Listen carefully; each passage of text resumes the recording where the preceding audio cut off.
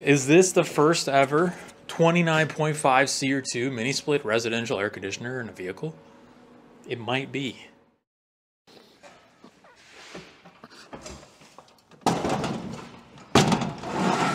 Well, it's time to put the last key piece on this build here, and that is our top of the line cutting edge EG4 20 SEER 2 29.5 mini split air conditioner, which is going on the front of the mom's attic.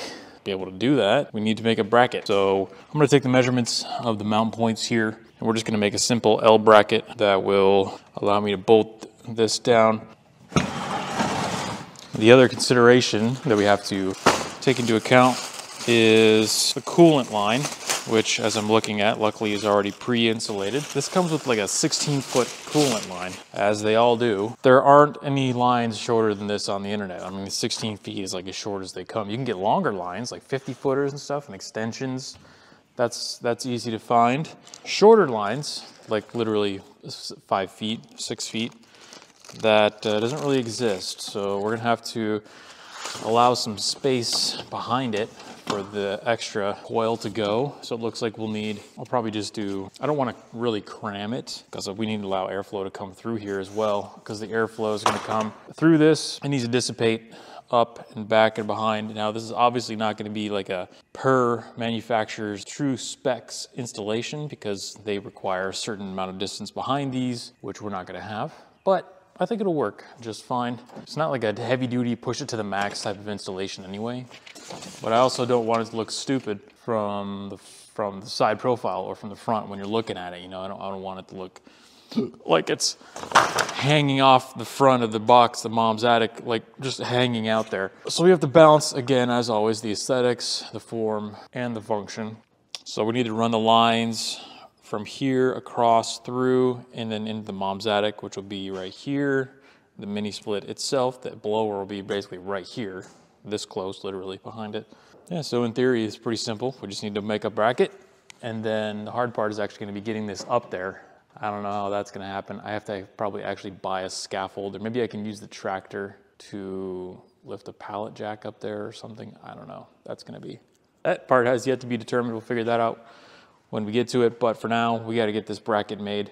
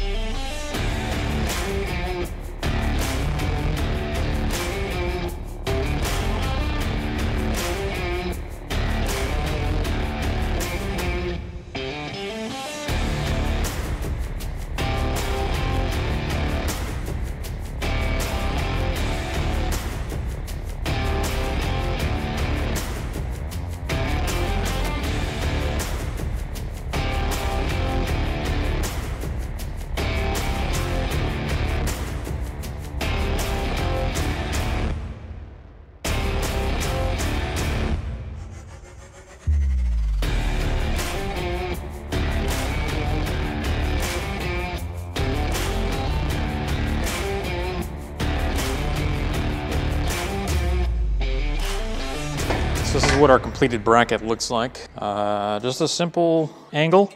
And I put a little bit of a kind of a backrest on the top so that there's no, no way that the unit can like flex backwards if there's heavy wind or something like that. Not that I think it would, but just as a extra piece of reassurance. So what I'm gonna do now is we're gonna get some holes drilled on the back, then we're gonna paint it, and then we're pretty much ready to mount. Four inches in from the bottom because we got that, we got the aluminum frame of the box that we're working around and there is a little bit of overlap, about an inch and a half or two inches so on the top and the bottom of the mom's attic. So we're gonna make sure that we're in far enough that we're not drilling into that aluminum.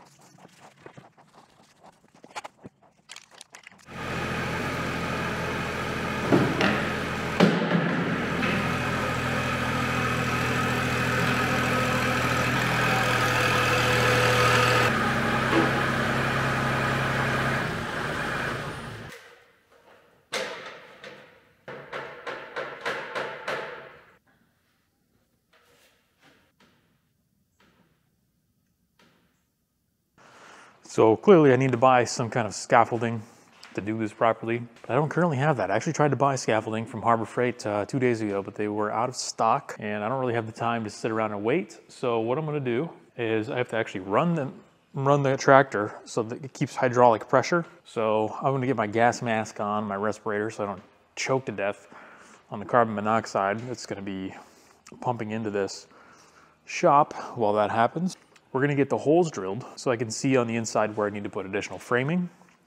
So we're gonna get the holes drilled, turn everything off, go on the inside, put additional framing in there, drill the holes through that, and then get the bolts that'll go all the way through uh, both the framing and the wall.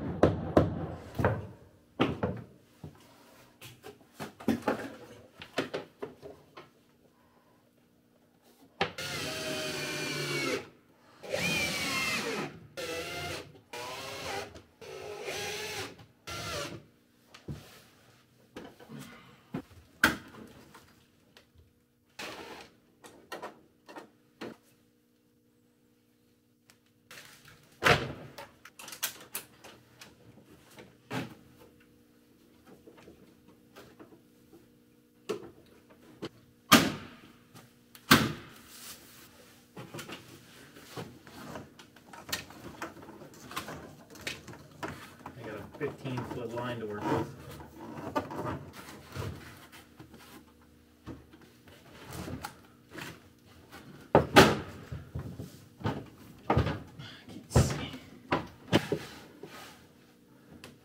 All right, so we got the lines, drainage, and our connection control cables all routed through the wall. All we gotta do is get them connected. So I'm gonna get back up there with the tractor. We'll connect the actual line from the inverter as well as all this other stuff and we should be done. What could go wrong?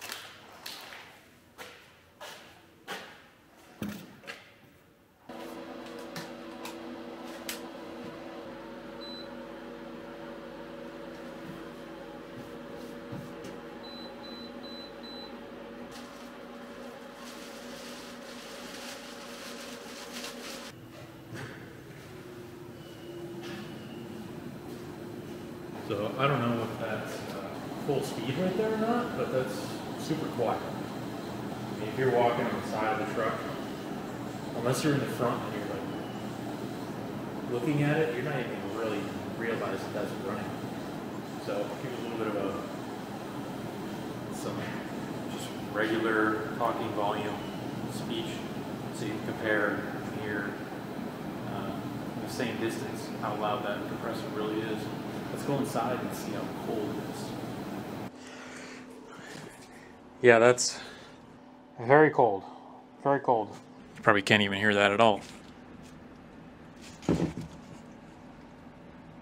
Actually, as I'm standing here, the inverter is still louder than that. So, is this the first ever 29.5 SEER2 mini split residential air conditioner in a vehicle? It might be. Cutting edge technology, cutting edge technology It's everywhere. Everywhere, that's how we do it.